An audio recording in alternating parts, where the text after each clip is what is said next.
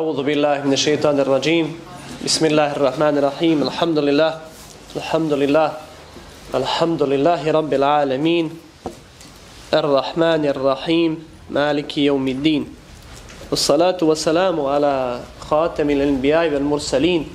سيدنا محمد وعلى آله وصحبه ومن اتبعهم بإحسان إلى يوم الدين.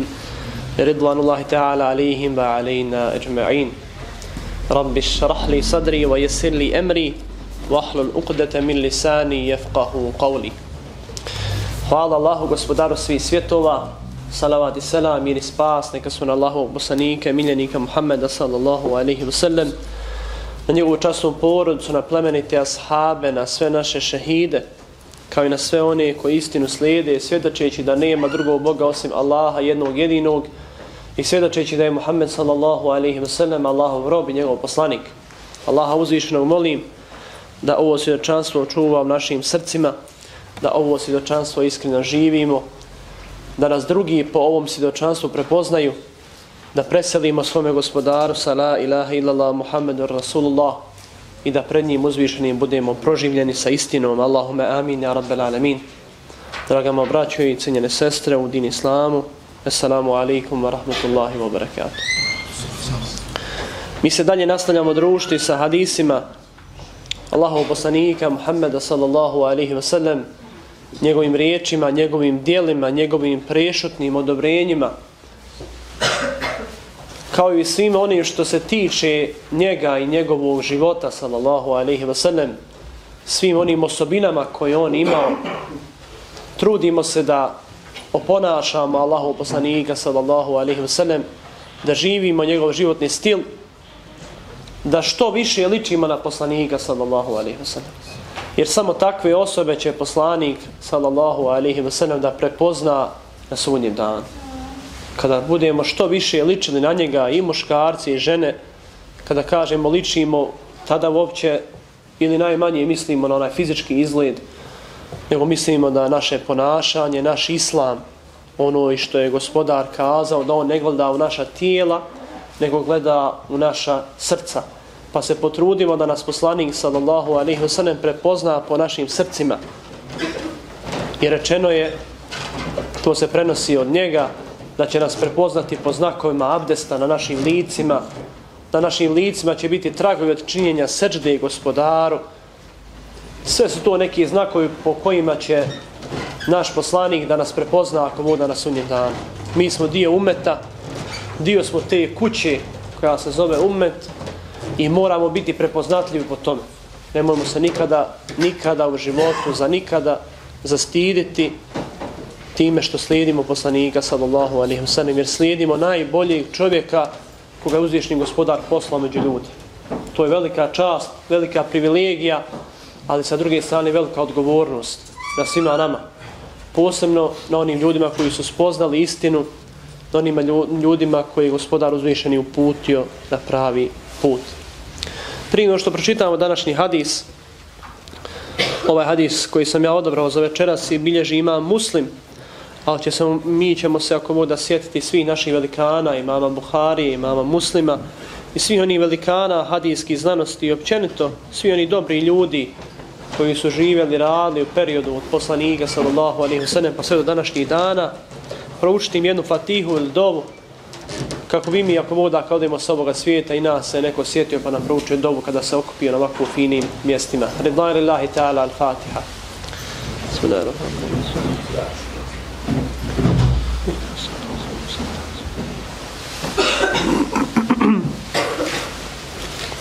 Od Ebu Hureyre, neka, neka je Allah zadovoljan njime, prenosi se sljedeći.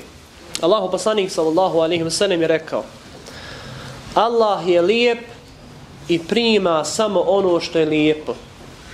Uzvišeni Allah je naredio vjerovjesnicima, vjernicima, ono što je naredio i poslanicima. Rekavši, o poslanici, jedite što je lijepo, odnosno jedite ono što je dozvoljeno i radite ono što je dobro. Sura El Mu'minun, 51. ajet.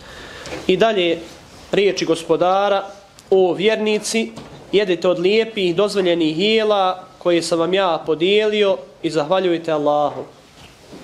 ako samo njega obožavate. Sura El-Bekare, 172. ajet.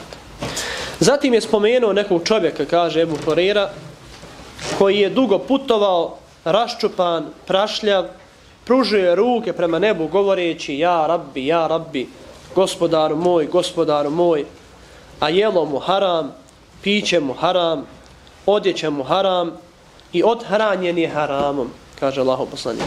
Pa kako da mu se Allah odazove? Kako da mu bodova bude uslišana? Ovaj hadis, kao što smo kazali, bilježi ima muslim pod rednim brojem 1000, 1015. Inna Allahe kane ta'ala tajibun. Inna Allahe ta'ala tajibun. Zaista je uzvišeni Allah tajib, kaže Allah poslanik. Dobar, dobar, odnosno lijep. I prima samo ono što je lijepo. Prima samo ono što je lijepo. A u drugom hadisu Allah poslanik sallallahu alaihi wa sallam kaže Allah je u svakoj stvari propisao ihsan, dobročinstvo. Allah je u svakoj stvari propisao dobročinstvo. I sve što radite u životu, pa makar to bilo, kaže Allah poslanik, i klanje, misleći na klanje životinje, kaže to radite ono najljepše što možete. Makar se dakle radili ubijstvo. Subhanallah, pogledajte koliko je naša vjera lijepa, koliko je naša vjera dobra. I u njoj zaista svaki propis sve ono što je došlo od našeg poslanika sallallahu alaihi ve sellem sve ono što nas je podučio ima svoju mudrost ima svoj hikmet neke stvari mi vidimo neke stvari ne vidimo. Neke stvari kasnije vidimo. Za neke stvari jednostavno treba vrijeme da prođe da bi nam one nadošle da bi mi njih da bi mi njih spoznali. Kasnije ćemo nešto kazati o samom postu ili mjesecu Ramazanu, jer se nalazimo u barek mjesecu Ramazanu, da vidimo samo gdje smo mi. Veoma je važno u životu čovjek da povuče liniju i sam sebe da preispita, da vidi gdje je, šta je. Jer samo u takvoj situaciji insan zna koliko treba da napreduje, kojom brzinom treba da ide naprijed, ili treba malo da kurs promijeni. To je veoma važno u životu čovjeka.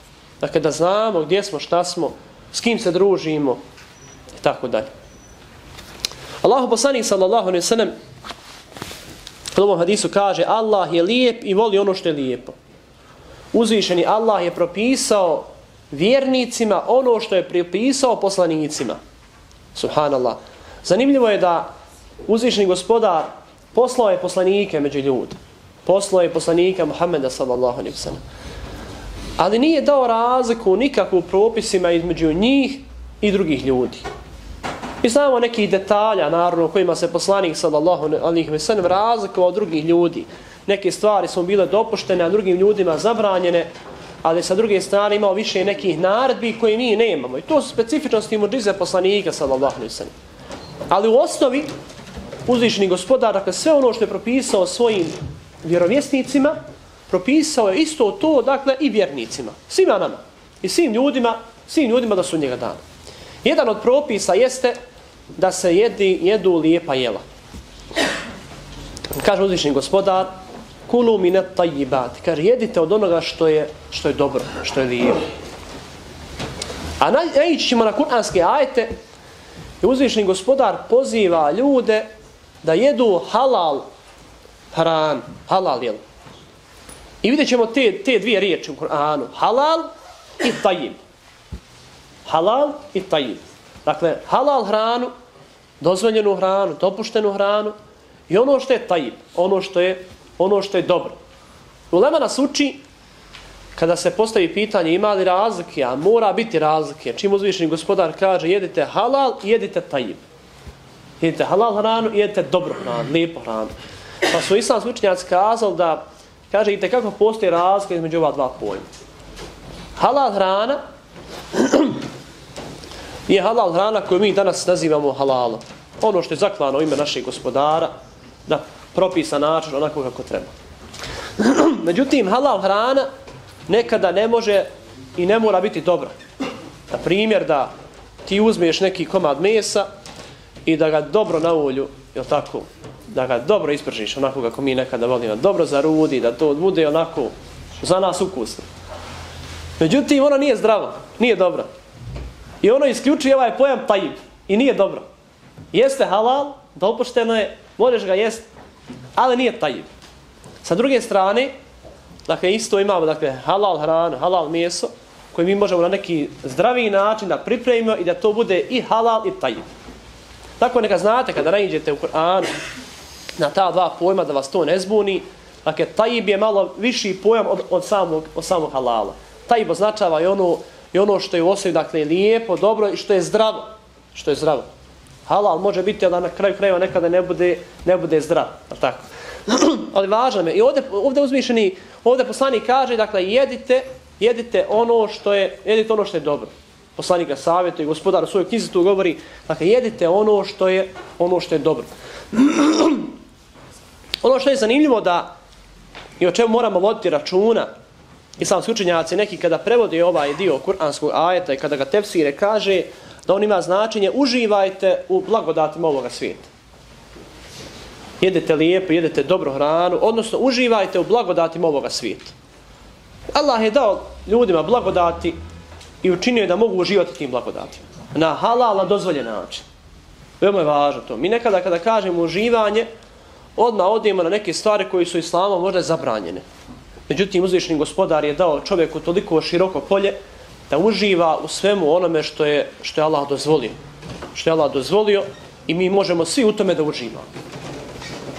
Ono što bi volio da obratimo pažnju jeste da u tom našem uživanju, da kažemo uživanju u, u, u hrani, općenito u životu na ovome svijetu, da ubacimo malo i mudrosti, malo hikmeta, i savjeta poslanika sallallahu alaihi wa sallam koji nas je savjetovao na primjer kada nešto jedete ili kada nešto ste kupili negdje pa hoćete to u kući svoje da pojedete poslanik je savjetovao ako ne možeš to da podijeliš sa drugima kaže sakri to pa ponesi svoje kući. To je zlatni savjet. Naši stari su to uvijek imali na umu da ove prozirne kese kad su se pojavile ovi naši stari djedovi nene nikada nisu nosili te prozirne kese. Da ne vidi narod šta su oni kupili u prodavnicama. Vas da bi nosile neke cekere, cegere, gdje bi ono što su kupili, tako, ne bi, ne bi drugi ljudi vidjeli šta su oni kupili. Da li bi to bilo nešto skupo, da li bi bilo jeftino, nebitno, ali ne bi trebali drugi ljudi da vidje šta mi, šta mi kupujemo, šta mi, šta mi jedemo. Bar zbog toga što neke stvari možda ne možemo da podijelimo sa drugima, poslanik nas savjetuje da to zapakujemo pa da ponesemo to u svojoj, svojoj kući.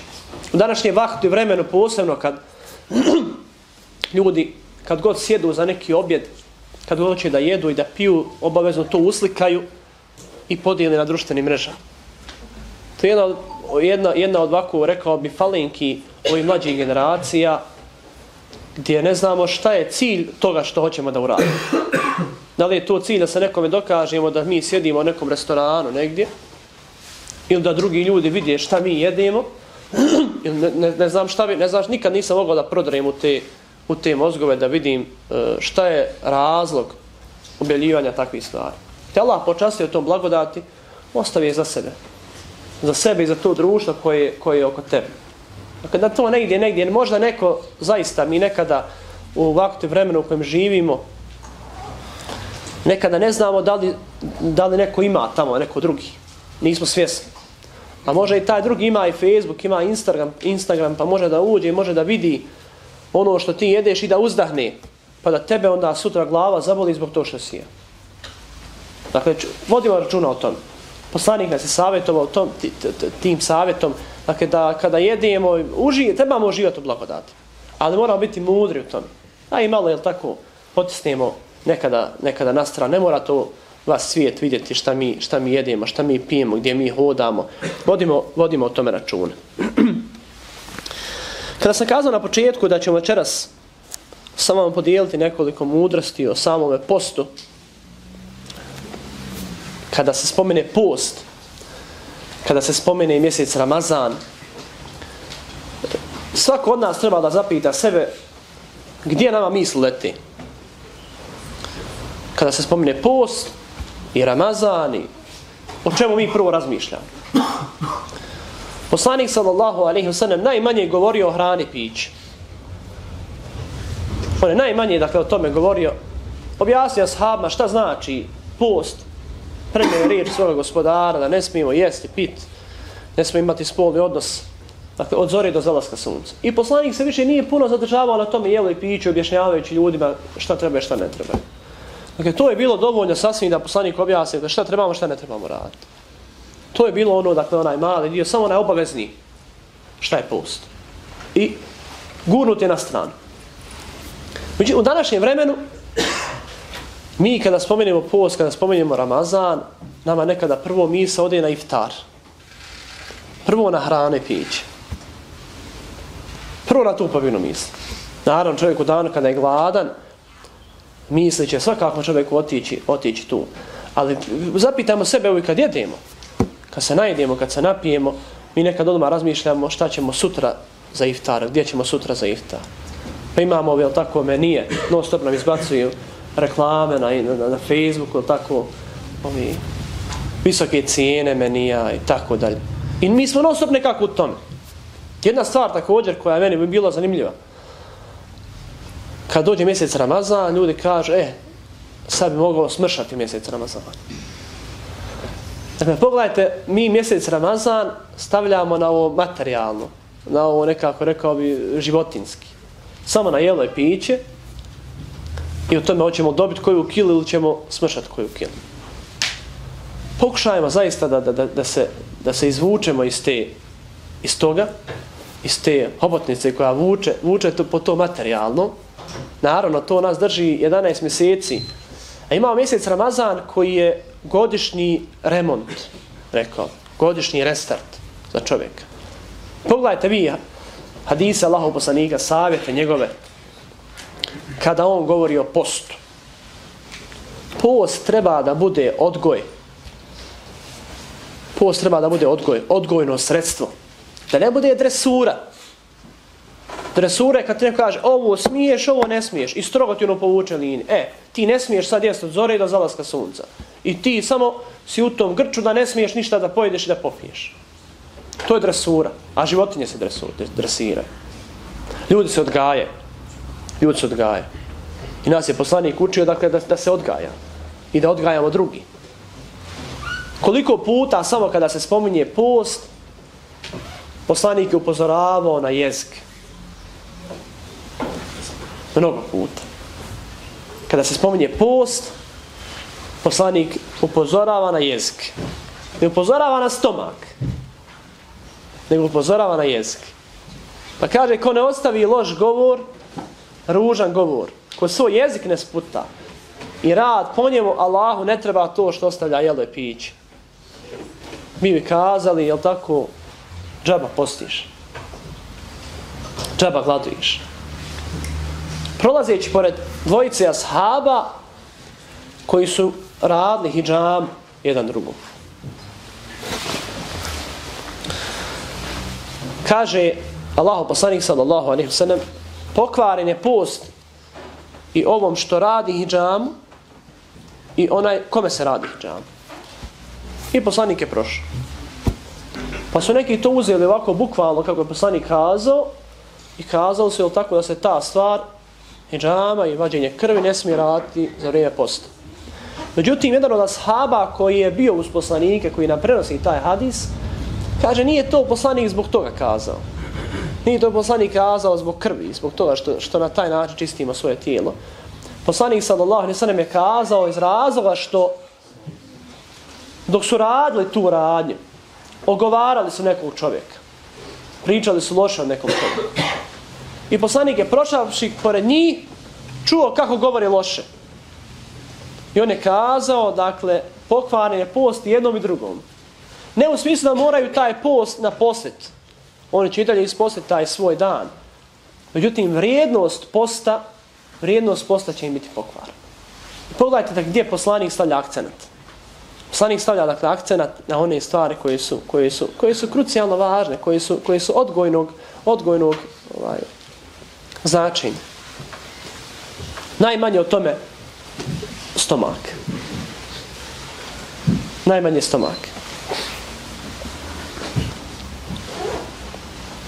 A mi nekada svi mi naravno kada kažem mi ja i sebe tu ubrajam nemojte misliti da ja sebe izdvajam e, negdje na stranu i da samo vama pričam prvo sve pričam uvijek mi nekada kada postimo je da čekamo da dođe iftar i svi to iščekuju ali bojim se nekada da to ono, naš osjećaj onaj tog, prolaza se, da prođe samo dan samo da ga ispostim samo da ga prekrižim na kalendaru samo da je jedan dan manji. Isto kao osobe koje rade neki posao, samo da im ispadne iz ruku. A mi znamo kako su ti poslovi najčešće. Najčešće oni budu nakarani. Ti poslovi, tako da se samo uradi, samo da ispadne iz ruku, onako da to ode od nas što prije, najčešće to bude plaho nakaradno. Dakle, ne valja ništa. Ja, e, potrudimo se da svoj dan ovaj dan i svaki dan, evo naredni, koliko ih je ostalo do 12. kraja mjeseca Ramazana, da ih zaista iskoristim. da se potrudimo da da post da nas odgoji. Pa koliko je to moguće? Nije malo, nije malo, braćo i sese, 30 dana. Nama se drugi ljudi ibrati kada razgovaramo sa ljudima koji nemaju veze sa, sa islamom i sa postom, I kada mi kažemo da postimo 30 dana uzastopno, ujutro od 4 sata, na večer do, do 6, na primjer, oni kažu, pa zatvori se usovu, pa nešto pojedi, napij se nečega. Tako imaju oni predstav o tome. U smislu da, da te ne vidi ljudi, jel tako? U, ti kad si u kući ti možeš uzeti nešto.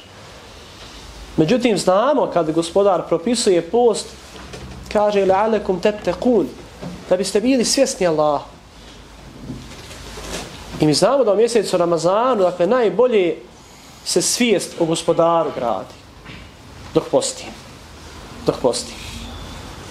Naravno, ima i taj metod, tako da čovjek kada malo gladuje, kada ga malo stomak zaboli, kada zakrče crijeva, pa se sjeti onih ljudi koji, koji su gladni, koji nisu mogućnosti, možda da se pripremi iftar, naš način, mi znamo, mi postimo cijeli dan, ali znamo da nas čeka iftar.